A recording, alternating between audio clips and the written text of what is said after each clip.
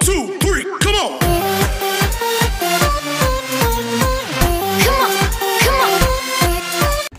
Hi everyone! Good evening. I'm back. This is Sabrusas and welcome back to my YouTube channel. Oh my gosh, this is it guys. Pag-uusapan natin ngayon, big contender nga ba dito si Miss Roberta Tamundong sa Miss Grand International? Bakit? Yan ang tatalakayin natin ngayon. But before anything else, I want you to invite to hit like button, comment below, and subscribe my channel. And then, Don't forget to click notification bell para lagi kayong updated sa aking mga chika. Hello Philippines and hello beautiful people. Mabuhay! Kamusta kayong lahat? Sana lahat po kayo ay okay at safe ngayong araw na to. At syempre sa lahat ng mga bago nating subscribers, hello po sa inyo lahat. Maraming maraming salamat guys sa pag-subscribe nyo dito sa channel ko at sa lahat naman ng makamamasam dyan na laging sumusuporta araw-araw, lagi-lagi. Maraming maraming salamat guys sa inyo lahat. Syempre, usapang Miss Grand International tayo ngayon. Alam ko lahat kayo ay excited dahil sa ipinapakita nga ng pambato natin na si Roberto Tamundong dito sa Miss Grand International. Nabuhayon ba kayo ng dugo? Ako, yes dahil yung ina-expect ko, mas more pa ang ibinigay ni Miss Roberta Tamundo. Napaka-amazing na bata. Kasi nung una, iniisip ko, wala masyadong sumusuporta kay Roberta. So, parang mahirap, baka matalo, di ba? Pangalawa, ah ano kaya yung mga galawan na ibibigay ni Roberta Tamundong? This time, I'm so excited every day para makita ito si Roberta Tamundong dito sa competition ng Miss Grand International. Actually, nagpaplano nga ako pumunta ng Indonesia. eh. Kasi, nararamdaman ko si Roberta, alam mo, nasa on game talaga siya. Lahat ng plano niya ay talagang pinag-igihan niya ng maigi. At masasabi ko, ay nako, grabe. Alam niya kung paano niya itataas yung sarili niya sa isang pageant. Nung mga nakaraan, bago magsimula ang Binibining Pilipinas, si Roberta Tamundong, isa sa mga top 5 na nakikita ng mga pageant analyst na pwedeng manalo or pwedeng makapasok talaga sa top 5. Tapos, yung malapit na magsimula ang Miss Grand, unti-unti, parang biglang nawala si Roberta Tamundong, bumaba sa top 10, top 8, mga ganon. So, wala talaga siya sa top 5 kasi ang mga pinagpipili at sa top 5 sila Impa, sila Indonesia, sila Brazil, and then si Venezuela, mga ganon. Sila yung mga nilalagay doon sa top 5. Talaga nilaglag nila sa Philippines.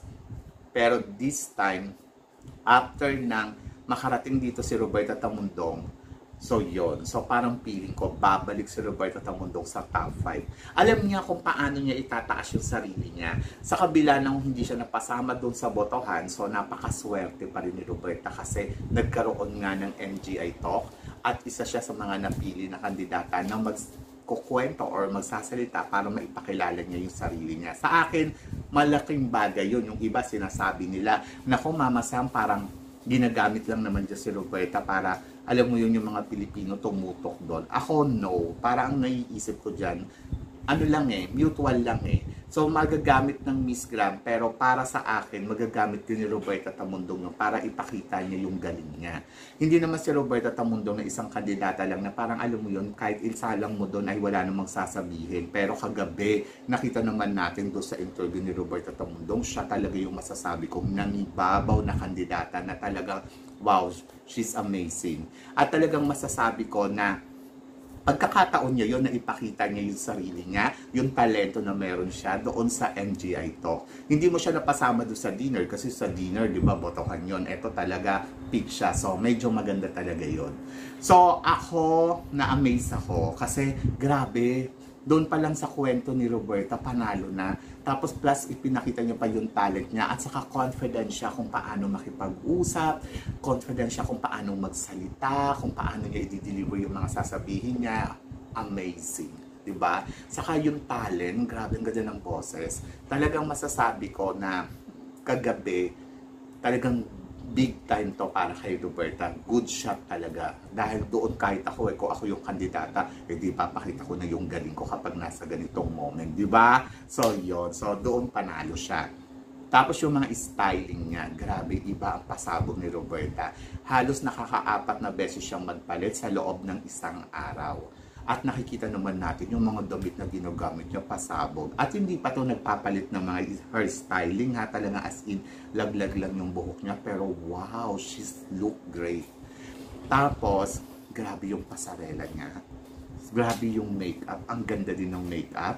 And then, nadis, ayun nga, nalaman ko na marami pala talagang mga makeup artist din ng Miss Grand at then lahat ng makeup artist doon gusto siya. Di ba? Isa na yung magandang pagkakataon na parang ipakita ni Roberta yung kanya namang another side, yung good character, yung pagiging sweet. Di ba? So, yon And then, pangalawa, doon naman tayo sa ano, roommate yung roommate niya si Impa, malaking chance din yon para malaman ni Mr. Nawat kung anong merong ugali to si Impa. So feeling ko, parang si Roberta talaga yung pwedeng mapisil nila na maging isang reyna ng Miss Grand International. Bakit? Kasi kung si Impa ang Miss Grand Thailand, kahit hindi naman manalo si Impa, si Miss Impa at saka si Roberta kung sakasakali siyang mananalo, silang dalawa ang magsasama dito sa Thailand. Kaya dapat dito pa lang ipakita din ni Roberta kung ano yung good character niya, yung pagiging sweet niya dito kay Impa. And I think kung silang dalawa, mas parang lamang siya kay Impa in fairness talaga ha. In terms of styling, makeup, outfitan, I think si Miss Philippines pasabog more than kay Miss Thailand. 'di ba? So 'yon. So 'yun din yung nakikita ko na ay nako, winner. Plus ayun na nga, naobserbahan ko din, yung nag-meet sila ni Mr. Nawat, happy si Mr. Nawat. Mararamdaman mo na happy siya doon sa itsura na merong ang Miss Grand Philippines. At ito nga si Roberta Tamundo. And then maganda din yung pinapakita ni Roberta Tamundo na habang kinakausap niya si Mr. Nawat ay nakatingin siya kay Mr. Nawat. Napansin ninyo si Mr. Nawat, tumingin din siya kay Roberta. Pero si Roberta doon na rin tumingin sa, sa camera. So magandang ano yon magandang senyales yun na makikita yung good character ni Roberta ni Mr. Nawat. Hindi kasi siya yung parang nakatingin lang sa camera habang nagsasalita and she know how to conversation, di ba, with the other people. So, is yun ang mga katangian na nakikita ko dito kay Roberta Tamundo. Isa ba siyang malaking big contender ngayon dito sa Miss Grand International 2022? Yes. Kasi talagang makakasabay siya kay Miss Brazil. Ayun yung medyo parang dapat abangan eh. Si Miss Brazil din medyo iba din yung gandahan. Pero yung outfitan ni Miss Brazil, saka yung orahan ni Miss Brazil kung paano to umeksena, medyo parang feeling ko kayang-kaya ni Roberta Tumundong. Kasi yung pasarela ni Roberta as in perfect. Pero sana, pagdating talaga lang sa entablado, medyo lumandi lang talaga konti ito si Roberta ng husto. Kasi yung laruin niya talaga yung entablado, ayun, importante din kasi yon Plus, siguro ano talaga makipagsabayan siya. Isa din sa mga nakikita ko si Miss Venezuela. Si Miss Venezuela maharot din eh. Iba din yung drama neto. Kaya lang si Miss Venezuela medyo mature tignan. Parang feeling ko papasok sa top 5. And then si Impa, I think si Impa medyo mahihirapan sa competition na to kasi wala naman siyang naipapakita na something new. Maliban lang talaga doon sa malakas lang si Impa gawa ng followers. So feeling ko ang followers ang magdadala kay Impa patungo doon sa semifinals.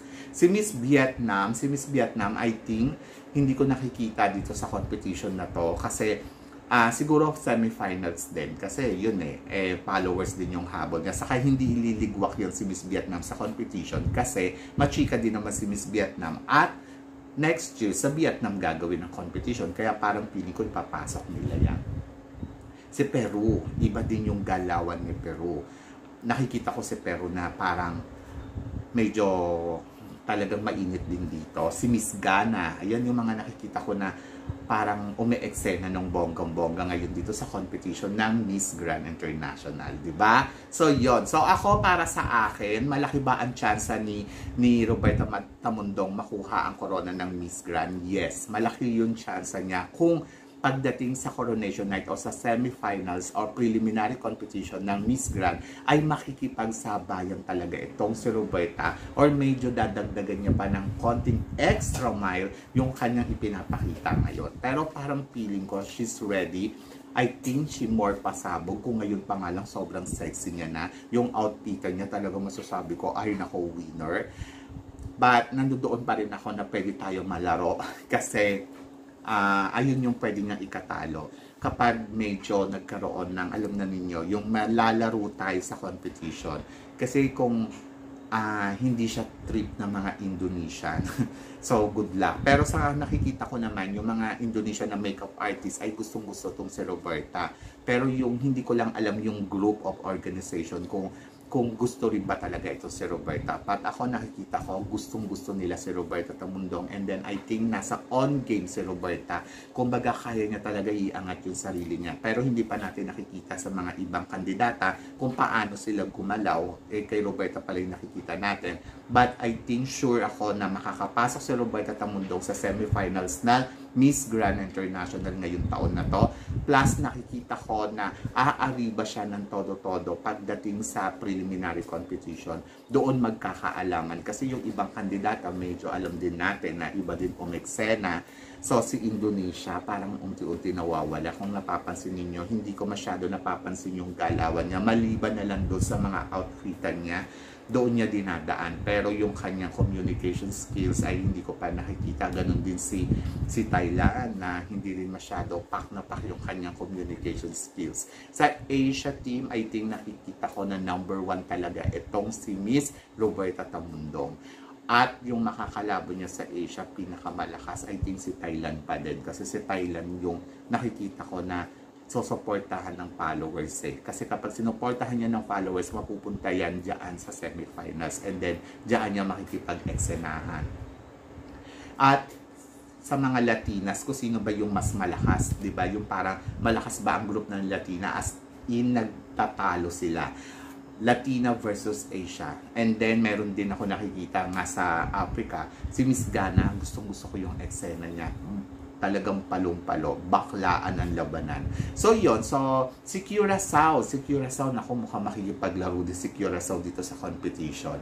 So kaabang-abang, kasi marami din naman mga kandidata pa na hindi tayo nakikita, nakikita, hindi pa natin nakikita yung kanilang galawan, yung kanilang mga eksena, pero yung nandoon sa dinner, syempre kanya-kanyang pa-impress. Pero parang feeling ko, doon sa top 10 sa dinner, sila Mexico, sila Myanmar, parang wala naman sila doon sa eksena na parang mahihirapan ng Pilipinas. Medyo mahigpit din yung labanan kasi iba yung mga galawan ng mga kandidata. Palo kung palo, ariba kung ariba.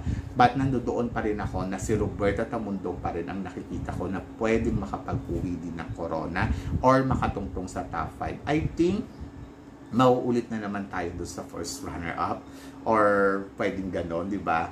But kasi lakas niya kasi si Samber. Nung si Samber noon, parang feeling ko malakas si Roberta din. Ang kulang lang kay Roberta, I think, yung pagiging ano niya, kasi lagi siya parang alone. Dapat makipag-communicate din siya sa lahat ng mga kandidata. Importante din kasi yun na meron siyang mga kachikang kandidata and then uh, makihalubilo ng bonggang-bongga. So, medyo dikit-dikit siya doon kay sa mga organization, I think yun yung mga dapat niyang gawin. So, tignan pa natin kasi medyo maaga pa para mag ano mag ano dito na kung sigurado ba tayo sa corona. So ngayon, nandoon pa lang tayo sa unti-unti, nakikita natin si Roberta na talagang unti-unti siyang umaangat mula doon sa nababa siya at ngayon I think papasok na uli siya sa mga prediction ng mga uh, pageant analyst pagdating sa top 5 I think top 5 sigurado ako na kayang-kaya ni Roberta Tamundong makikipagbardagulan yan hindi yan papayag, I think, si Roberta ng ganun-ganun lang na matalo, ba? Na matalo lang ng ganun-ganun. So, I think ha. So, tingnan pa natin kung ano pa yung mga eksenang gagawin dito ni Roberta Tamundong. For now, parang masasabi ko sa inyo na malakas si Roberta Tamundong sa competition ngayong taon na to dito sa Miss Grand International. So, malalaman natin yan in the future. So, yun guys. Kayo guys, ano guys ang opinion ninyo dito sa mga pinag-uusapan natin? Tingin ba ninyo, ninyo kaya mauwi ni Roberta Tamundong ang first crown para sa Pilipinas ng Miss Grand International? Please comment below para at least malaman ko naman kung anong opinion ninyo dito sa mga pinag-uusapan natin. So, yun guys. Guys, maraming maraming salamat po always keep smiling and always think positive, sabi nga ganon. Walang imposible sa itaas, manalig lang tayo sa kanya. Kaya guys, hanggang dito na lang. Hanggang sa muli natin chikahan. See you tomorrow. Paalam! Thank you.